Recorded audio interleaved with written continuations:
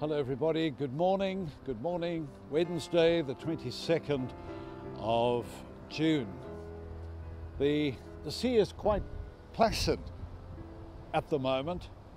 Uh, you wouldn't think that the sea can become angry. It looks a, a picture of, of calmness.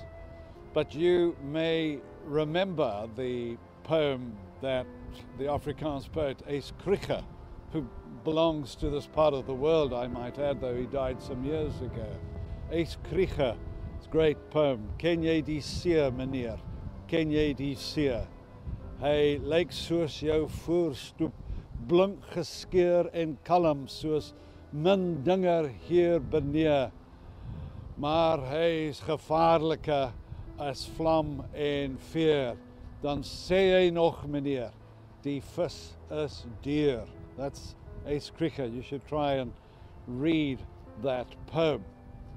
Krige, or the people about whom Krige was writing, the fishermen, knew how this placid sea can turn against you. And when you talk about a placid sea turning against you and becoming angry, I think of Psalm 107 that starts Give thanks to the Lord, for he is good for his love endures forever. Let the redeemed of the Lord say so. And if you go through Psalm 107, he, he, the psalmist mentions all manner, manner of people that must give thanks to God. He speaks about people who are walking in the desert and they're in deep trouble, and then they are saved through finding water. And he says, Let them praise God uh, for his goodness. And he speaks about prisoners languishing in jail and they are released. And then the psalmist says, Let them give thanks to God.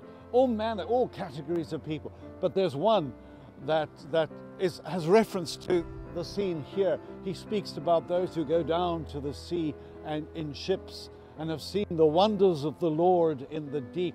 Beautiful picture. You kind of wonderfully serene idea of the sea and the ocean. And then the psalmist speaks about how the ocean turns on them and, and they are under threat of, of extinction. And their boats are, are, are, are plunging into the water, and men are staggering from side to side in their boats like drunken men until the, the psalmist says, they are led by the Lord to a safe haven.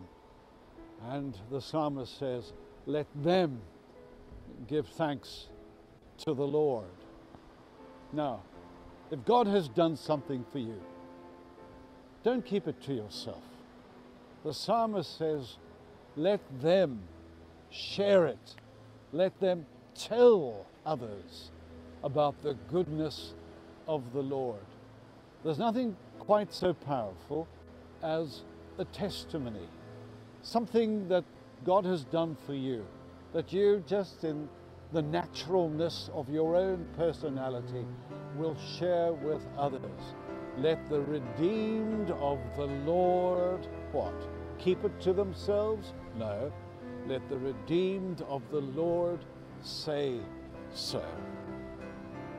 So, if you have something to share, something really good about what God has done for you, share it, and God be with you.